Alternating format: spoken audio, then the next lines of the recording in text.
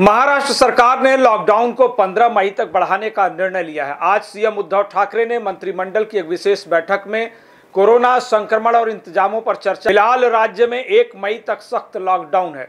सरकार का मानना है कि इससे कोरोना तेज़ी से घट रहा है और यदि फ़िलहाल लॉकडाउन में छूट दी जाती है तो इससे कोविड संक्रमण बढ़ सकता है। दरअसल महाराष्ट्र देश का सर्वाधिक कोरोना संक्रमित राज्य है।